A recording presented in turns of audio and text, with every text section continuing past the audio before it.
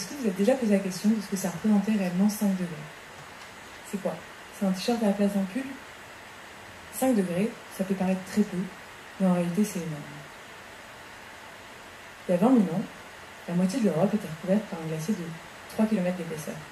Les pingouins jouaient aux boules de neige dans le sud de la France, et le Sahara abritait le plus grand lac du monde. La seule différence entre ce monde-là et le monde actuel, c'est 5 degrés. 5 tout petits degrés. Maintenant, essayez d'imaginer le monde de demain avec 5 degrés supplémentaires.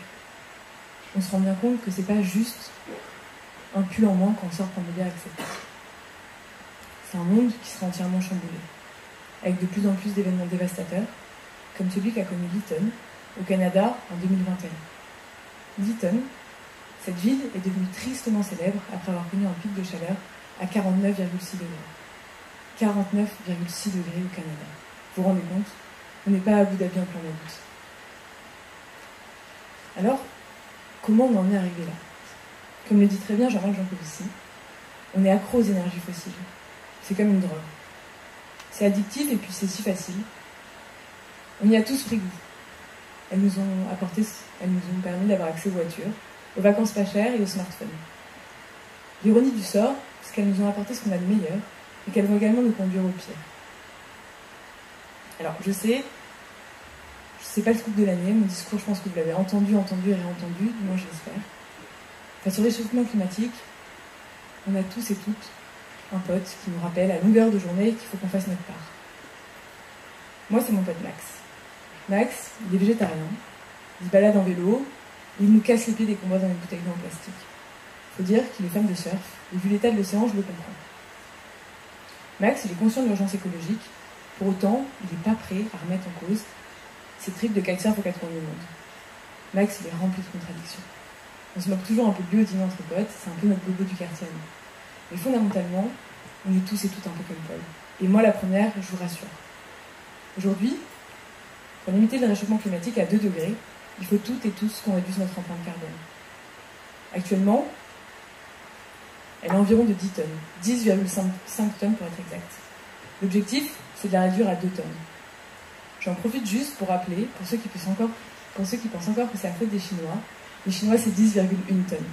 On peut arrêter de les pointer du doigt. Concrètement, comment on fait pour arriver à 2 tonnes?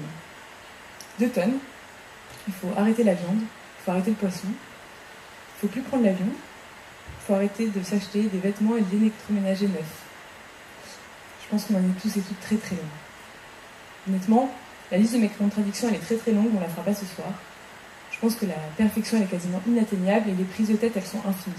Mais ce qui compte, c'est le chemin. Le problème, c'est de considérer uniquement notre consommation et donc notre empreinte carbone, c'est un leurre. Aujourd'hui, notre marge de manœuvre, elle est très très faible. C'est 8 tonnes seulement. En tant qu'individu, on consomme, certes, on investit parfois, mais surtout on travaille. Est-ce que ça fait vraiment sens d'arrêter l'avion si à côté on bosse pour une entreprise hyper polluante qui accélère le réchauffement climatique? Notre job, c'est 8 heures par jour, 5 jours sur 7, et ça pendant 40 ans. Il est là notre plus grand impact, surtout en tant que jeune diplômé. On a un pouvoir immense de dire non aux employeurs dont la vision et la stratégie du monde sont anachroniques. Moi, ce jour, j'ai pris conscience de ça. J'ai décidé de démissionner de mon CDI au bout de six mois j'étais consultante dans la data. je vous rassure, je ne suis pas un cas isolé. 40% des jeunes diplômés quittent leur job au cours des deux premières années. C'est une histoire qui est assez banale finalement. On a tout et tout un modèle prédéfini de réussite en fait. Étant diplômé d'une école de commerce, la voie royale, c'était conseil, finance, marketing, et maintenant de plus en plus le digital et la data. C'est un monde qui est décorrélé avec l'urgence écologique et qui est complètement à bout de souffle. Alors qu'est-ce qui s'est passé? À la fin de mes études, je commence, sans trop me poser de questions, à travailler les entretiens pour les cabinets de conseil. C'est formateur, c'est socialement valorisé et puis c'est très bien rémunéré, il faut. À ce moment-là, j'habitais en colocation et un soir, par hasard, un pote de mon coloc s'invite à dîner à la maison. C'était son fameux pote engagé. Il avait arrêté la prépa pour monter une boîte permet de récolter des fonds pour les associations grâce à la publicité. Ça l'avait même amené à rencontrer Bill Gates, c'est-à-dire. J'étais assez curieuse de le rencontrer.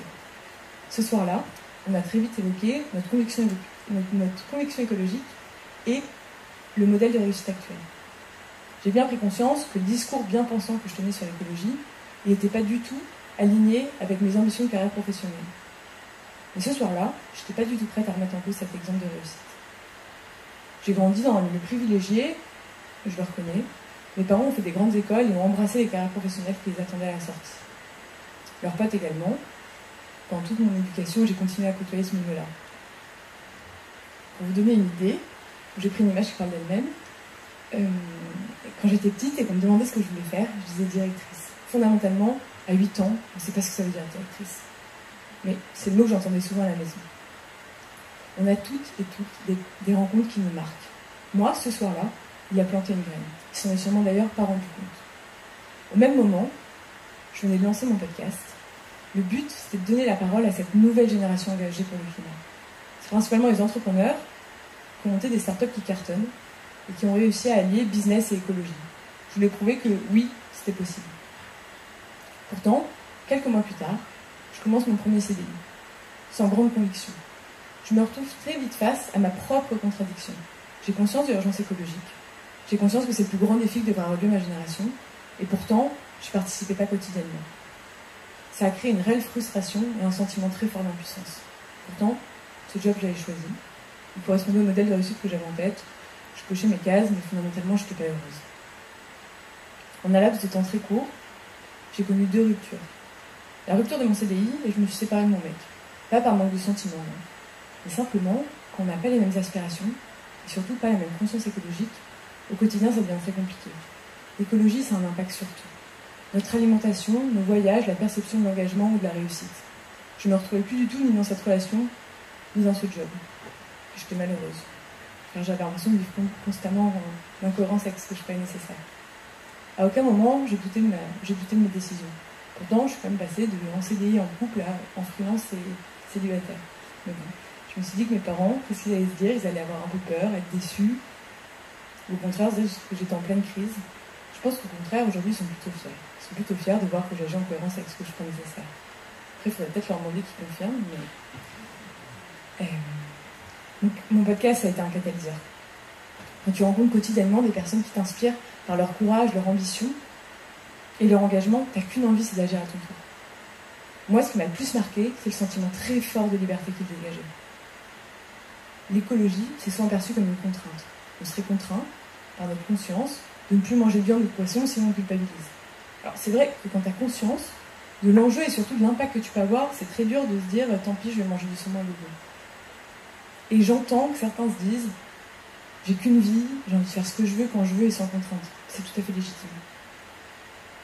Mais est-ce que c'est vraiment ça Est-ce que c'est faire ce que bon nous semble, prendre 50 fois l'avion sans trop se poser de questions? Est-ce que c'est vraiment ça? Moi, je suis persuadée du contraire. Être libre, c'est agir en toute connaissance de cause.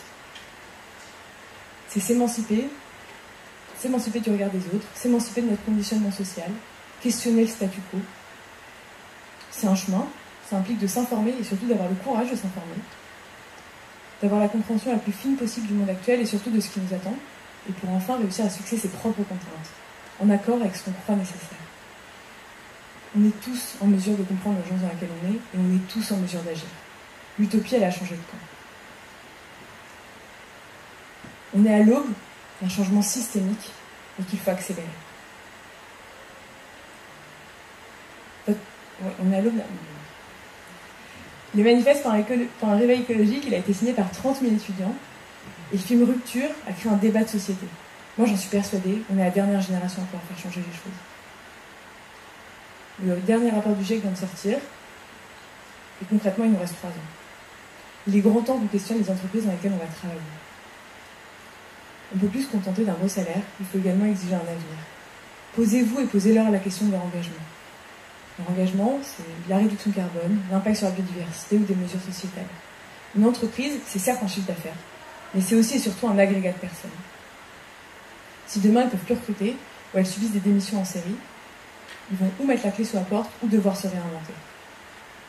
Et je comprends que certains se disent, moi, mon ambition, c'est de transformer l'entreprise de l'intérieur. Alors c'est très bien, il faut être réaliste. avant que vous ayez suffisamment de responsabilité pour avoir provoqué le moindre changement, il va vous falloir quoi 5 ans, 8 ans, 10 ans de carrière? On n'a plus le temps. L'engagement, il doit être pris maintenant et pas dans les 5 prochaines années. euh, une célèbre entreprise d'énergie fossile française qui déclarait récemment à l'AFP qu'une de ses plus grandes craintes, ce serait de plus réussir à attirer les jeunes talents. Aujourd'hui, les ingénieurs, et je vous le souhaite, ils veulent travailler dans les énergies renouvelables. Alors, travailler dans un grand groupe, oui, mais pas pour y faire n'importe quoi. Interrogez-vous sur la finalité de votre job. J'en suis sûre, vous êtes doué et plein d'énergie. Ayez le courage de vous engager dans des projets ambitieux. Le réchauffement climatique, je vous l'accorde, c'est pas sexy, c'est redondant et franchement c'est anxiogène. Et je pense qu'il faut l'aborder comme un challenge, le plus grand challenge de notre époque. Moi je trouve ça fascinant, tous ces nouveaux secteurs qui se développent. La rénovation énergétique, la séquestration carbone, la mobilité verte ou les low-tech il y a plein de nouvelles opportunités et surtout il y a plein de nouvelles opportunités de carrière qui sont ambitieuses, qui sont bien rémunérées et qui sont alliées avec le plus grand défi de notre époque. Vous imaginez si on y arrive, on sera tellement fiers. Si je devais être honnête, bien sûr qu'il y a plein de jours où je me lève le matin et je me dis franchement je préférerais pas savoir. Ma vie, elle serait beaucoup plus simple.